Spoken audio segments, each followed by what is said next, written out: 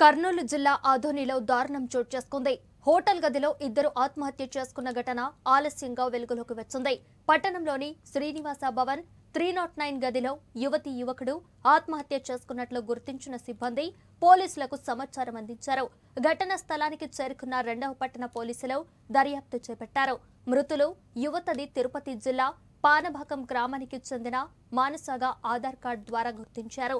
ఎమ్మిగనూరు మండలం దైవం దిన్నే గ్రామానికి చెందిన రాముగా గుర్తించామని రెండవ పట్టణ సీఐ శ్రీనివాస్ నాయక్ తెలిపారు.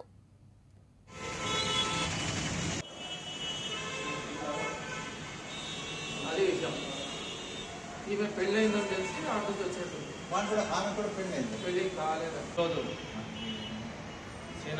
ఆదోని పట్టణం నందు గల శ్రీనివాస భవన్ నందు room number three naught nine నందు లాడ్జ్ వాళ్ళు తెలిపిన సమాచారం మేరకు వచ్చి వెరిఫై చేయగా ఆ లాడ్జ్ నందు రూము నిన్న ఉదయం జాయిన్ అయిన ఇద్దరు గంట ఆడ మగ వ్యక్తులు ఆధార్ కార్డు మేరకు ఒకరి పేరు మానస అని ఉంది.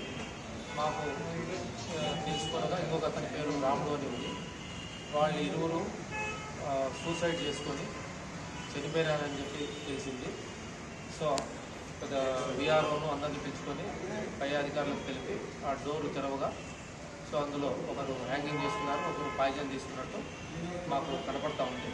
ఇంకా విచారిస్తున్నాము పూర్వాపురం ఆధార్ కార్డు మేరకు తిరుపతి జిల్లా చంద్రగిరికి చెందిన లేడీ మానస. ఇంకొక అతనికి ఆధార్ కార్డు లేదు. మన ఏరియాకు ఎమ్మిగనూరు ప్రాంతానికి సంబంధించిన like share and subscribe master TV